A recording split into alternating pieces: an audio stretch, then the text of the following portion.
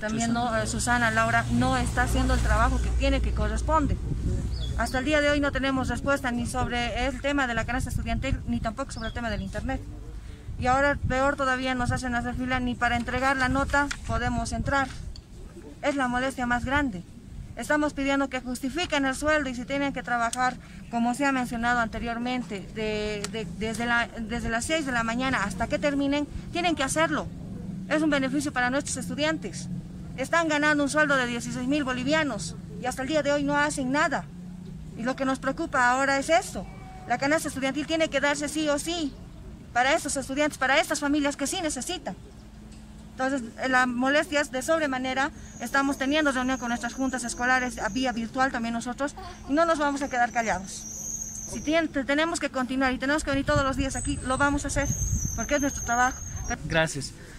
Bueno, deja mucho que desear el accionar de estas autoridades. Desde el 28 de mayo nosotros hemos presentado ya una iniciativa sobre el tema de Internet a costo cero se, ha hecho el trabajo técnico, se ha entregado la población estudiantil, se ha entregado encuestas. Lo único que deberían hacer es revisar normativa y entregar. Lamentablemente hasta el día de hoy, desde el 28 de mayo, no hay una respuesta contundente por parte de la concejal Susana Laura. Hay una incapacidad tremenda y lo que nosotros pedimos es que estas autoridades de una buena vez trabajen.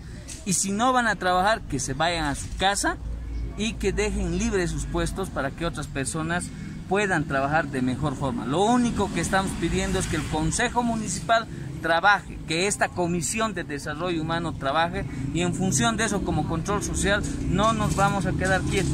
Vamos a ver la posibilidad de tomar algunas medidas porque realmente nuestros padres de familia así lo necesitan.